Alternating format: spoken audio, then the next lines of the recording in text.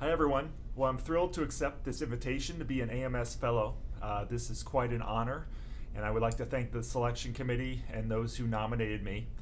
Uh, needless to say, this wouldn't have been possible without the support over the years uh, from my graduate studies at the University of Washington, um, to collaborating with numerous uh, and talented colleagues over the years, uh, and of course, my students here at Stony Brook University who have done some amazing things as well.